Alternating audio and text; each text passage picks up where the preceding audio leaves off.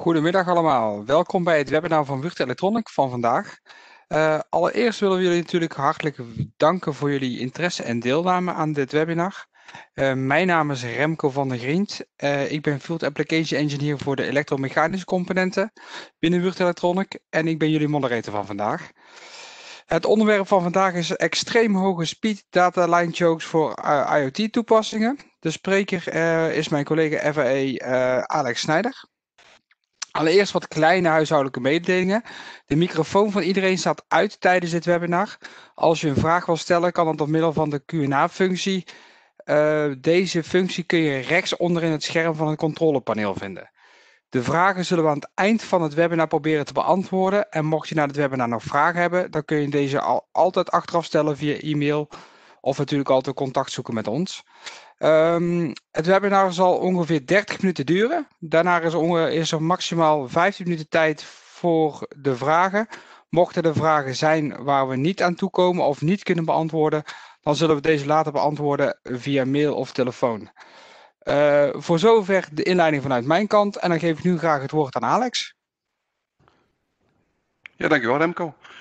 Uh, namens mij ook iedereen welkom eerste webinar van het jaar. Uh, ik ben bang dat er nog wel meer gaan volgen. Uh, de, de, omstandigheden die, uh, die dwingen ons daar natuurlijk toe. Niettemin, ik denk dat we weer een leuk programma hebben opgezet voor de komende weken. Deels hebben jullie dat mogen ontvangen. Ehm, en ik ben de gelukkige die het mag afstrappen van dit, van dit jaar. dus wat gaan we vandaag doen? we gaan het hebben over, over, over high-speed data. in combinatie met eh, RF-communicatie en hoe dat elkaar kan gaan beïnvloeden. Uh, omwille daarvan hebben we gekeken naar een, ja, een stukje agenda. Uh, we gaan kijken naar wat, wat dan een high-speed interface zou mogen zijn. Hoe dat ongeveer werkt en ja, waarom storing van high-speed interfaces een probleem kan zijn voor RF-communicatie. Um, daarnaast gaan we um, ja, kijken naar wat oplossingen. En hopelijk kunnen we wat conclusies trekken. Uh, en uh, ja, mochten er vragen zijn, zoals Remco zei, stel die gerust via de, de Q&A. Dan zullen we die in de afloop proberen te beantwoorden. Goed, uh, om te beginnen, high-speed digital interfaces. Ja, hier kan je natuurlijk eigenlijk alles in, invullen. Hè. Er zijn tegenwoordig heel veel, heel veel soorten interfaces. ja, wat, dan, wat in een protocol vast ligt, of misschien ook iets wat je wat zelf uh, uh, ontwikkeld is binnen, binnen de firma. Uh, wat je wel kan vaststellen is dat er een trend is.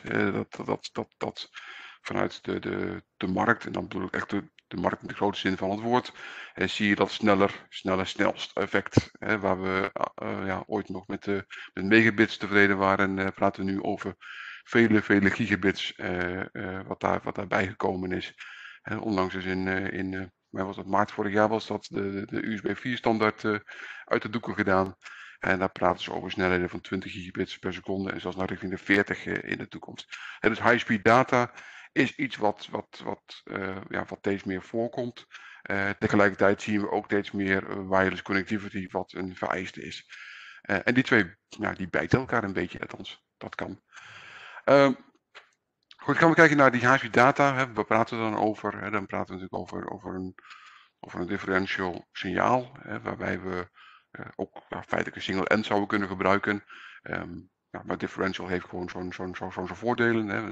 De, meeste zullen wel bekend zijn, denk ik. Hè. Het, het, het verminderen uh, ja, problemen rondom, rondom IMI natuurlijk. Hè. Als je naar een, als je een signaaltje over een lijn heen stuurt, uh, dan, dan, dan gaat dat natuurlijk een beetje storing opleveren. Uh, maar laat je dat in, uh, op een nabijburige uh, ja, trace of kabel teruglopen, dan, dan, dan, dan zullen die twee signalen elkaar ja, uitcancelen en op die manier rondom IMI ja, wat, wat, wat, wat voordelen bieden. ook biedt differential signaling een voordeel dat je met lagere spanningen kan werken. dus, je, dus je hebt minder tijd nodig om van, van, die, ja, van die 0 volt naar de spanning te komen die je, die je nodig hebt, want die spanning ligt eenmaal lager. Uh, en je kan behoorlijk hoge datasnelheden ermee uh, bewerkstelligen. Dus er zijn heel veel redenen om differential mode signaling te gebruiken. Uh, en dat signaal moet natuurlijk ergens over getransporteerd worden. Nou we kunnen kijken naar een kabel. Uh, voor deze presentatie kijken we met name even naar de PCB. en daar vinden we een, een, een trace. Um, en die trace die, die, die, die, ja, die kan je natuurlijk gewoon trekken in je PCB-programma. En als je daar geen aandacht aan besteedt, dan zal je zien dat met name met hoge snelheid data, dat je allerlei problemen tegen gaat komen. Omdat, het, omdat die trace natuurlijk bestaat uit allerlei parasitische eigenschappen, die, die, die, ja, die, die er gewoon bij zitten. En naarmate die snelheden van die data hoger en hoger en hoger wordt, ga je zien dat die parasitische eigenschappen ja, steeds belangrijker en steeds grotere rol gaan spelen. En dus een van de meest voorkomende uh, manieren is een microstrip-methode. Eh, mijn collega Remco heeft dit in zijn presentaties ook al een aantal keer besproken, dus ik ga hier niet volledig in detail in. maar die microstrip, ja, dat is feitelijk de geleider die, die, die, die, die op, op een stukje print ligt, wat heel vaak een FF4 materiaal is. dat materiaal heeft natuurlijk een dielektrische constante. hier schrijven we heel stoer 3,5 tot 4,5 vraag wel even na bij je PCB-fabrikant wat die daadwerkelijk is. Dat kan nogal verschillen van materiaal tot materiaal en zelfs van fabriek tot, tot fabriek. Uh, maar hij is wel heel belangrijk in het, in het goed definiëren van dit soort van dit sporen. Uh, en als onderste laag hebben we natuurlijk ook nog een ground plane. En die ja, moeten op elkaar afgestemd zijn. Hè. Als, je, als, je, als je een dikke materialen gaat gebruiken, hè, dus dikke F4 materiaal, dan heeft dat effect op de, op de koperstrip die bovenop ligt en omgekeerd uh, dito hetzelfde. Dus dit is een belangrijk onderdeel van, van het, het design. Voor je signaalintegriteit, maar ook richting je EMI performance. Ehm, en zou je dat in de perfecte wereld gaan creëren, waarbij echt alles helemaal netjes op elkaar afgestemd is, dan zou je in een differential signaling wereld geen common mode problemen verwachten. De, de, de, de, die wereld bestaat natuurlijk niet. Eh, in werkelijkheid ga je natuurlijk altijd zien dat, dat, dat eh, de lengten en de impedanties en, en hoe dan noemen we alles erop eh, van, van het plussignaal net heel iets anders is als van het minsignaal. Uh, daarbij zie je wat timingverschillen natuurlijk bij de source, wanneer het ene en het andere signaal wordt verstuurd. dus, dus, dus, dus er zullen altijd imperfecties zijn. En naarmate je weer richting een hogere frequentiegebied gaat, zul je zien dat, dat die imperfecties meer en meer problemen gaan veroorzaken rondom common mode. Ehm, dus common is wel degelijk een issue bij dit soort systemen. Um, komen we ja, een belangrijke slide in het geheel. Ik denk, denk, niet de meest moeilijke slide te begrijpen, maar hij is wel belangrijk. Uh, we hebben altijd te maken met een signaal-to-noise ratio. Uh, dat wil zeggen dat als ik, als ik iets wil gaan, uh, als, als, als ik een signaal heb, van hoe, hoe goed kan ik dat signaal dan detecteren tegen de achtergrond af. Dat kan, in een, dat kan een noisevloer zijn hè, die, die, die een bepaalde hoogte heeft. En als mijn signaal daar heel ver bovenuit steekt, dan is mijn signaal noise ratio is dan heel goed. en dan komt dat signaal ook luid en duidelijk door. En bij de mate die noisevloer dichter bij die amplitude gaat komen van, die, van dat signaal wat je wil uh, gaan, gaan verzenden of gaan ontvangen, dan, dan, dan zie, zou je zien dat die signal-to-noise ratio behoorlijk aan het afnemen is.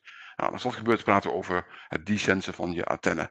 En dat is eigenlijk waar deze hele presentatie een beetje over gaat. Waarbij de, de, de, de, eh, de storing die, die een high-speed signaal op de print uh, ja, produceert, invloed gaat hebben op de gevoeligheid van jouw antenne. Welke signalen je wel en welke signalen je niet kan uh, ontvangen. Of hoe goed je ze kan ontvangen. Want dat heeft natuurlijk automatisch ook impact op de uh, data throughput. Nou, daar kom je automatisch bij dit plaatje uit. En wat we hier feitelijk zien is een stukje, uh, is een stuk in het grijs.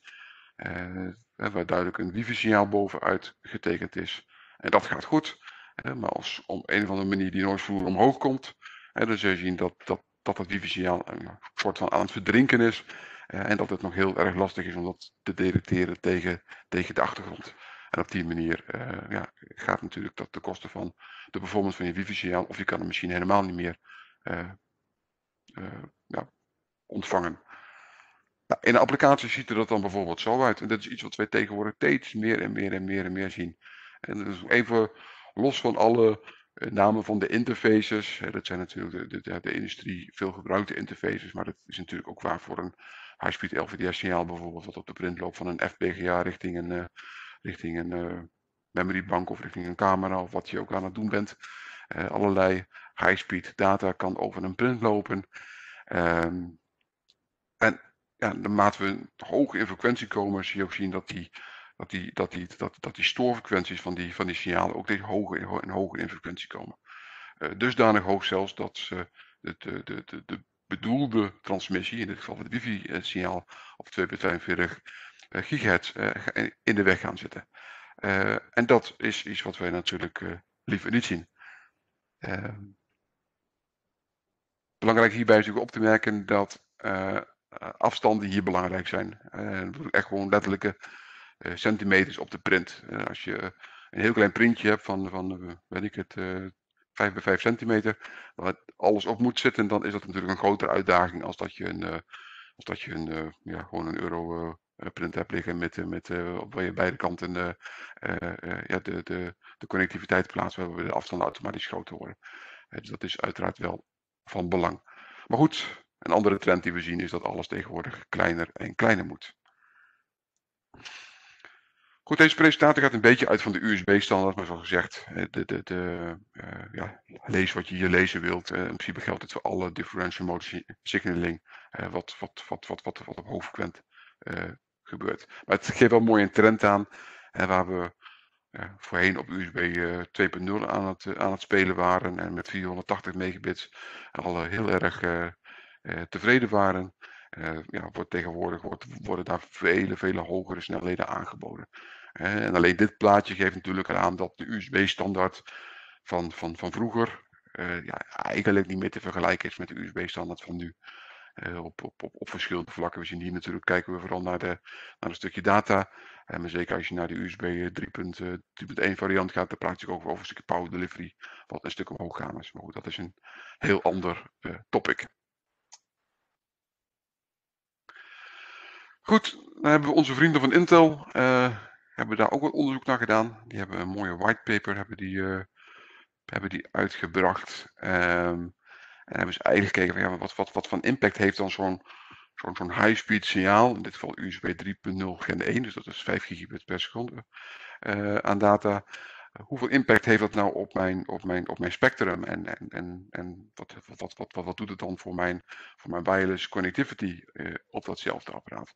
Nou, wat je heel duidelijk ziet hier, is dat, dat, dat, dat, dat je eigenlijk vanaf, vanaf, vanaf laag frequent, hè, vrijwel vanaf DC, tot aan die 5 gigahertz, en dus die hele databandbreedte eigenlijk, dat je, dat je, dat je duidelijk ziet dat er, dat, de, dat er een impact is op het wifi-signaal. Want dat zit hier natuurlijk op die 2.4 gigahertz.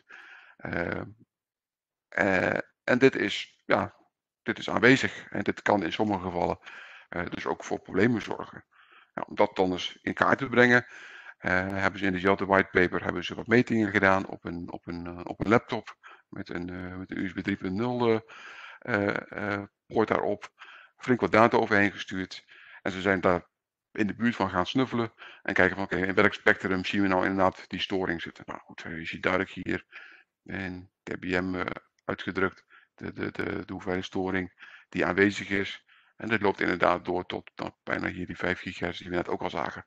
Het is inderdaad, uh, er zal een heel breed spectrum gedrag aan storingen ontstaan in dat hogere frequentiegebied, waar je dus ook jouw wifi-signaal ja, mogelijk ja, aanwezig heb. En dit geldt natuurlijk voor wifi, maar 2.4 gigahertz wordt natuurlijk ook gebruikt voor Bluetooth uh, en voor, voor legio andere uh, communicatieprotocollen uh, die daarop zitten.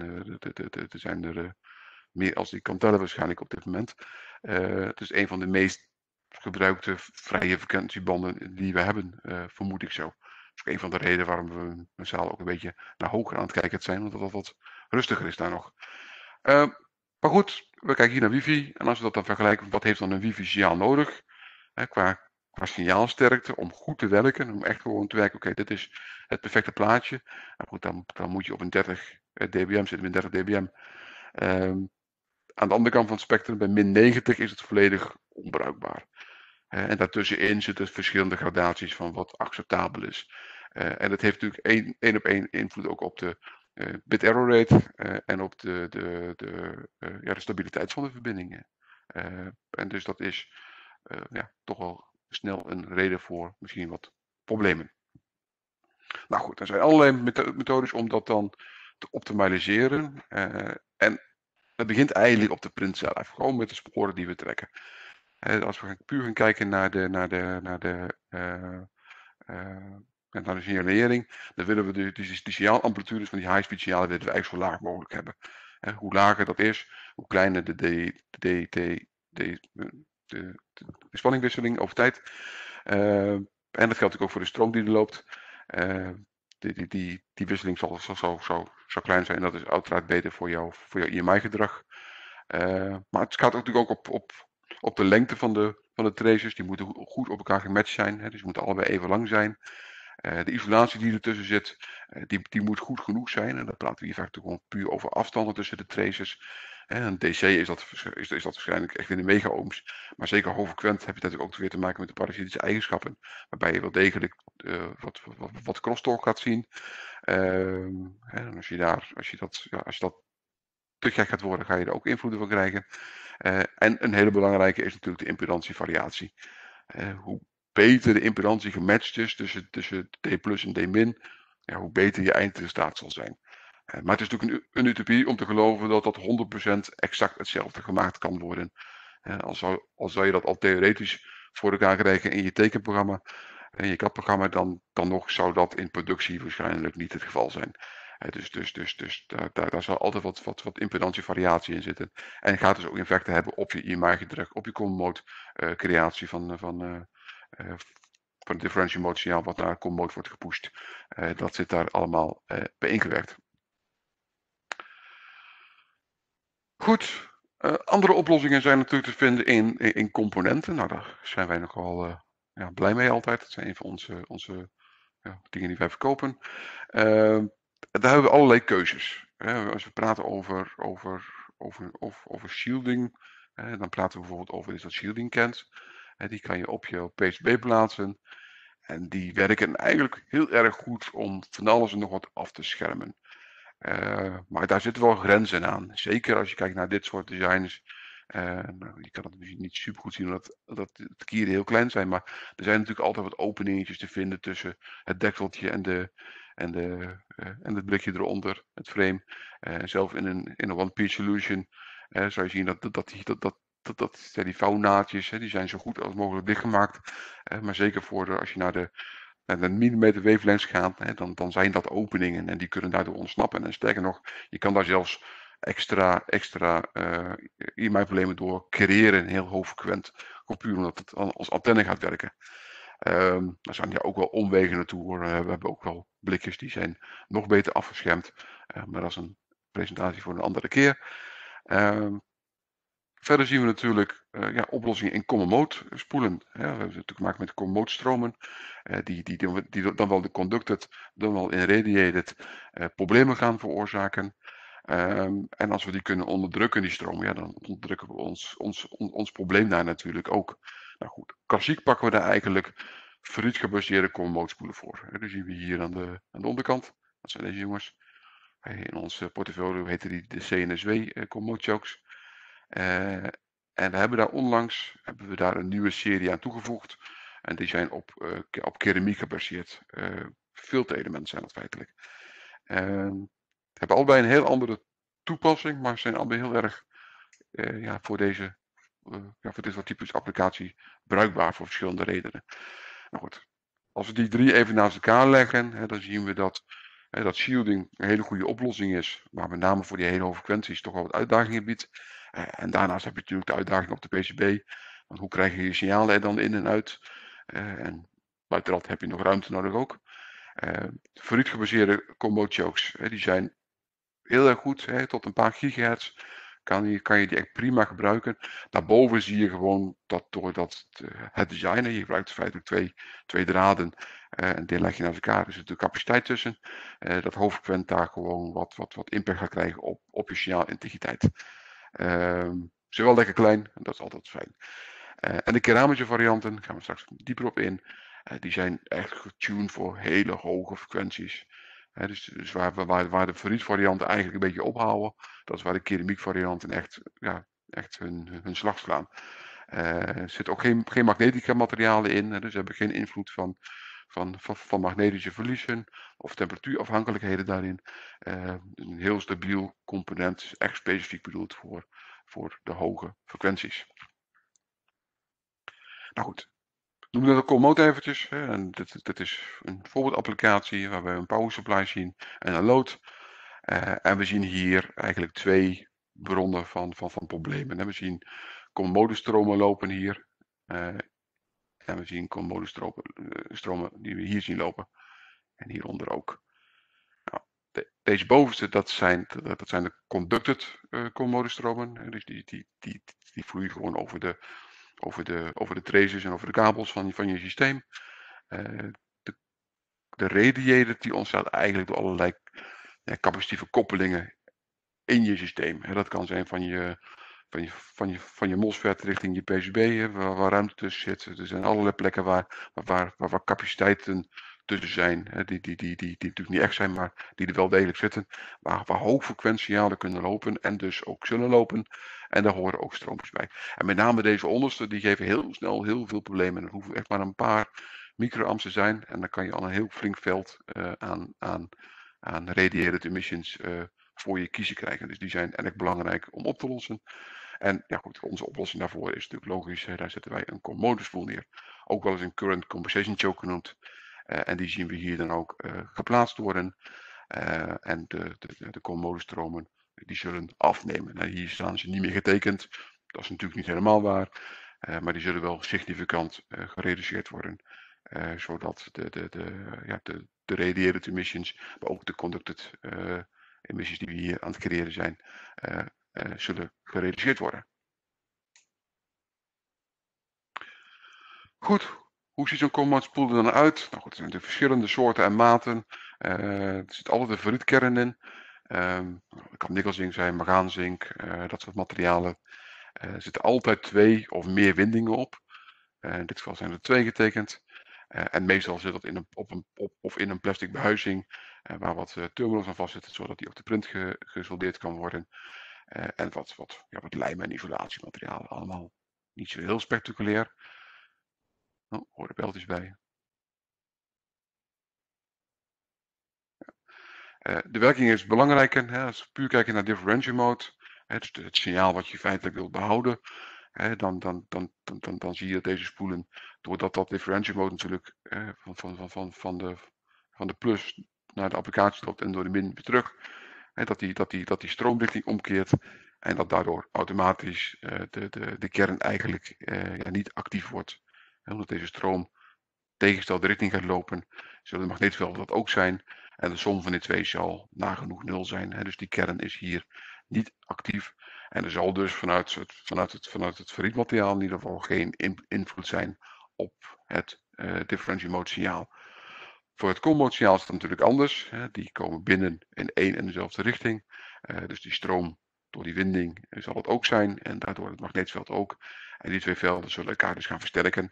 En daardoor zullen die, zal, die, zal, die, zal die kern actief worden en een common mode impedantie gaan produceren. Um, en uiteindelijk uh, is dan de hoop natuurlijk dat het common mode signaal wat aan de achterkant eruit komt uh, flink gereduceerd is. Dat is in ieder geval de bedoeling. En als je de juiste selecteert, dan is dat ook wel iets wat er gaat gebeuren. Uh, heel kort, je hebt feitelijk twee, twee stijlen. Je hebt een bipolair of een sectional.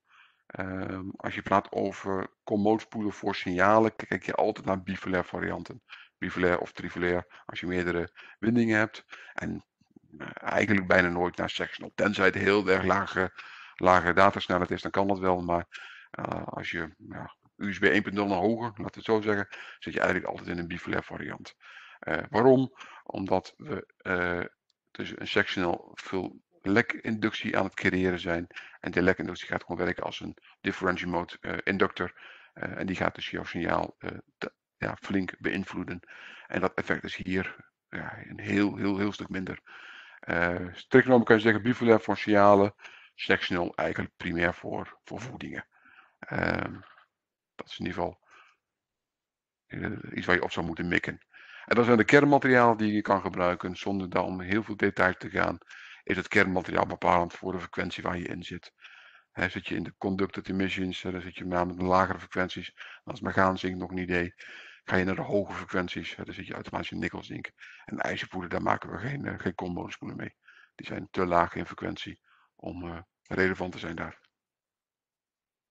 Goed, en dat brengt ons automatisch bij onze commodespoel, de CNSW. Eh, die ga ik eigenlijk even vergelijken met de keramische variant. Die komt zo meteen langs. Gewoon puur om het verschil te laten zien. De meeste mensen zullen deze kennen. Hè, dat is eigenlijk een ja, een go-to spoel als je, als je bijvoorbeeld in de USB 2.0 applicatie uh, je commode filtering onder controle wil krijgen, dan pak je vrijwel altijd zo'n zo'n soort spoel.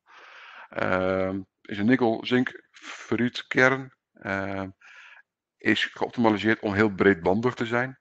Uh, gaat echt tot in aantal gigahertzen. Uh, en dat is voor heel veel applicaties ook meer dan voldoende. Uh, en er zijn ook high frequency varianten beschikbaar. Dan staat de CNSW HF, high frequency. en afmetingen, goed, jullie kunnen lezen. Als je dan die CNSW gaat bekijken, en ik pak dan de normale variant en de high frequency variant. En ik ga naar de S-parameters kijken, de scattering parameters. Waar ik eigenlijk kijk van hey, hoe gaat dat component zich dan gedragen over frequentie. Uh, dan zien we een paar interessante dingen. Ten eerste de, de, solide lijnen, dat zijn de differential mode gedrag. En de, de gestippelde lijnen, dat is het common mode gedrag. En waarbij zwart is dan de high frequency en de rode is de normale CNSW variant.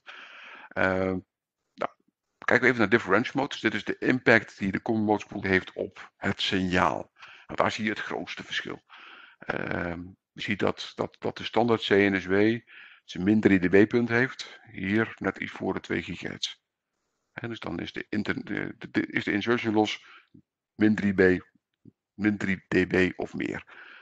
Uh, de high frequency variant die doet het net iets voorbij de 7,5 gigahertz. Dus die is duidelijk voor vele hogere frequenties geschikt.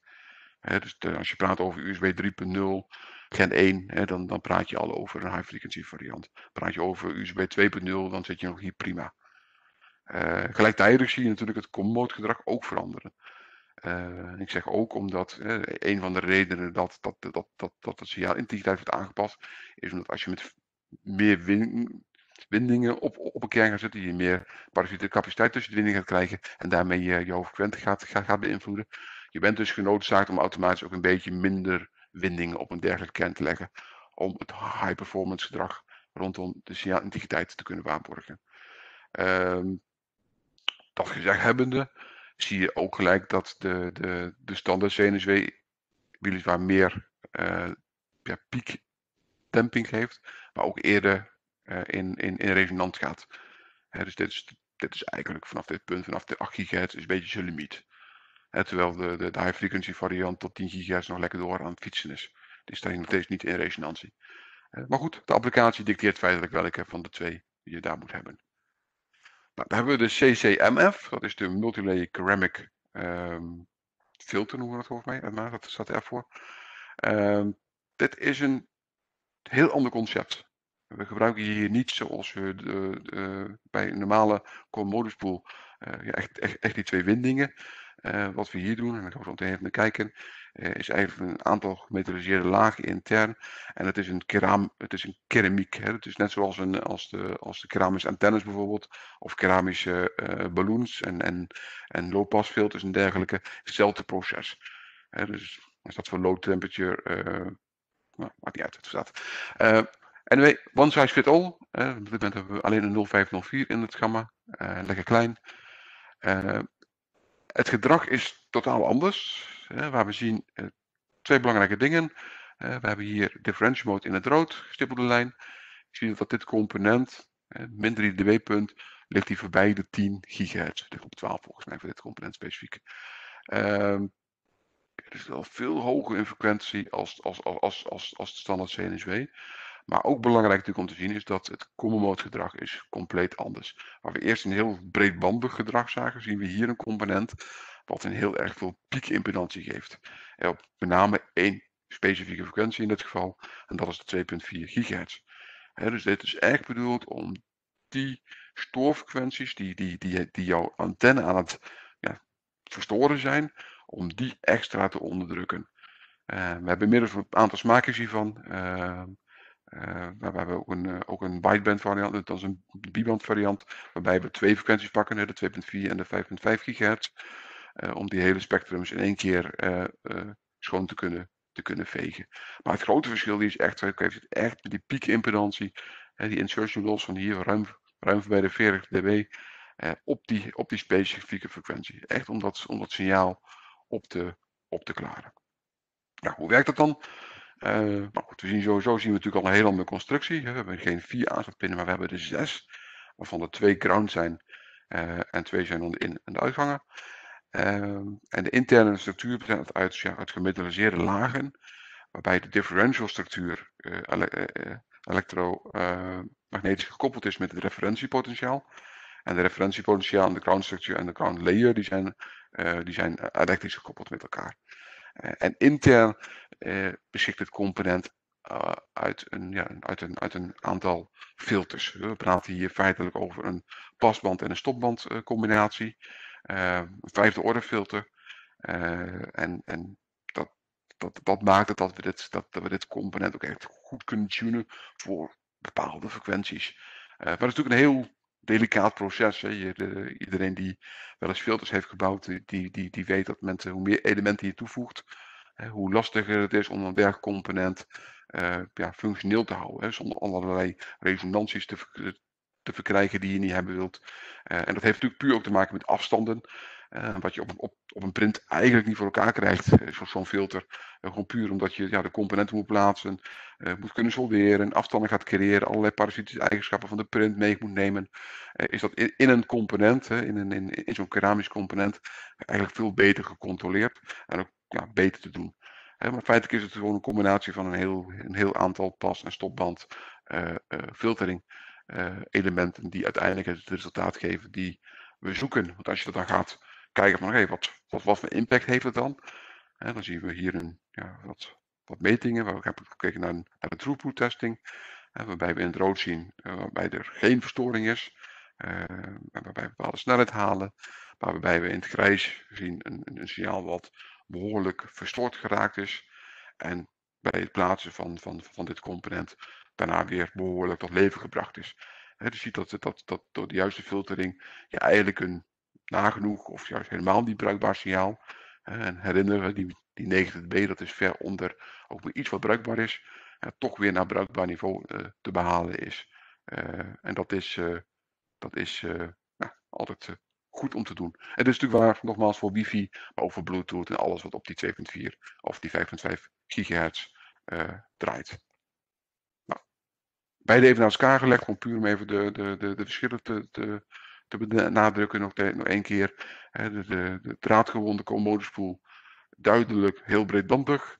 Uh, en zeker tot een paar gigahertz, uh, tot pak met 8 gigahertz, ook, ook nog steeds een hele goede oplossing. Hè. Dus ik zeg niet dat dit een slechte oplossing is, maar het loopt wel tegen zijn limieten aan. Uh, zeker met, met, met de komst van de nieuwere protocollen naar nog hogere datasnelheden, ga je daar gewoon op een gegeven moment ja, in de problemen komen. Eh, terwijl eh, de, de, ja, de keramische variant juist heel erg specifiek is voor één of twee specifieke frequenties. Eh, en heel erg weinig impact heeft op het, op het signaal. Hè, dus ja, voor de toekomstige applicaties. Daarover gesproken, over applicaties praat je dan over? Ja, feitelijk alle applicaties waarin uh, datacommunicatie op RF en op datavlak, dus op kabelvlak, bij elkaar komen. En, en, zeker als dat op, op kleine afstanden van elkaar moet gebeuren, uh, is, is dit, is, is, kan dit probleem opleveren. En daar zie je dit soort, dit soort spoelen, denk ik, maximaal tot hun, tot hun recht komen. En hier hebben we in een USB 3.1 applicatie opgenomen, hebben bij de middelste dataparen voor de, voor de, voor de 3.1 zullen zijn, dus 2.0. En daar zie je inderdaad ook die, die, die high frequency toegepast worden. Eh, of die CCMF, eh, die keramische variant. dus heel veel, heel veel toepassingen. Eh, en dat is ook een beetje de, ja, de boodschap voor vandaag. De, de, de, de nemen toe. Maar er wordt al gewerkt aan oplossingen. En, en nou, sterker nog, we hebben al gevonden voor uh, de commodproblemen in high-speed data. Uh, dus we kunnen weer een tijdje, weer een tijdje vooruit. Nou, dat was mijn, mijn aandeel voor vandaag. Uh, Remco, ik weet niet of er dan of er vragen zijn. Uh, Alex, op dit moment heb ik nog geen vragen ontvangen. Dus ik denk dat jouw verhaal heel duidelijk is geweest in deze. Ehm, ja, ik weet niet, vanuit mijn kant uit is ik, ik ben in ieder geval heb ook wel flink wat bijgeleerd, dus dankjewel daarvoor. Graag gedaan. dus nogmaals, het is een duidelijk verhaal geweest. Um, ja, kijk het naar er komen nog steeds geen vragen binnen, dus ik denk dat we even af kunnen gaan sluiten, kijken naar de tijd. Dus daar wil ik ook iedereen bedanken voor, voor hun aandacht. volgende week is er ook weer een webinar ehm, gepland. En nu zie ik in één keer een vraag binnenkomen, dus die gaan we toch meteen even beantwoorden, Alex. Ik hoop het. Um, ja, het is geen echte vraag. Ik zie meer een opmerking. Uh, hij zegt, uh, ik heb hier een, een, een, klant die een vraag heeft. Ik zie, ik zie dat de ESD-protectie naar de common mode choke zit. Moeten die chokes dan niet beveiligd worden tegen ESD? Ik ga even naar een slide. Kan ik over deze slide gaan? Ik verwacht van wel, als ik het zo zie. Ja, ja de, de, de, wat, je, wat je ziet gebeuren is dat de, uh, dat de vanuit de connector gezien Ehm, die zijn in beginsel al, al, al beveiligd voor, voor ESD. Dus we hebben hier ons signaal binnenkomen. Het is eerst ESD-bescherming en dan is de commode-bescherming aanwezig.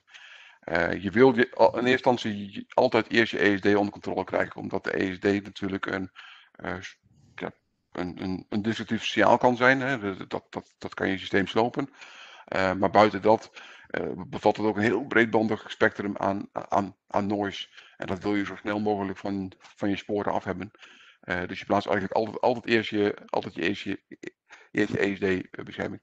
Zou je inderdaad eerst die commodus pool gaan, gaan plaatsen, uh, dan zou je dat kunnen zeggen dat daar nog inderdaad iets extra voor moet, moet zitten. Want die commodus pool die hebben natuurlijk een bepaalde spanningrating.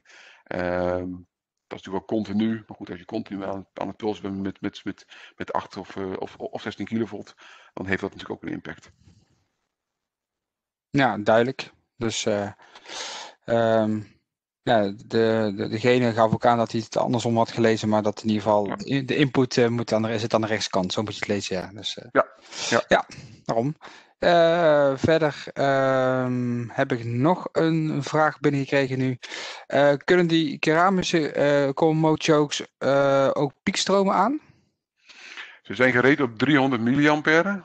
Ehm, Ehm, ze zijn uh, opgetrokken uit gemetalliseerde lagen, dus het is, maar het is wel een multilayer component. Dus ik zou daar wel heel erg mee oppassen wat je daar doorheen stuurt. Ik zou hier zeggen dat 300 mA gewoon de limiet is. Nou, duidelijk. Dus, um, ja, ik denk dat dat op dit moment de vragen zijn. Dus uh, ga ik hem nogmaals een keer uh, afsluiten. uh, dus nogmaals iedereen bedankt voor, uh, voor, de, voor de aandacht. Um, volgende week hebben we nog een, uh, nog een webinar gepland staan. Um, dit webinar heeft als onderwerp Creepage en Clearance. die ga ik voor mijn, voor mijn rekening nemen. we hopen jullie dan ook weer te verwelkomen. Ik heb in de chat, ook de algemene chat, ook heel even de link gezet naar... Um, onze webinar page op onze website, uh, waarin je rechtstreeks je, ja, je kunt inschrijven op, uh, op, voor de toekomst, zeg maar. We hebben tot april, onze, onze webinars gepland staan, dus we hopen jullie daar ook weer te kunnen zien.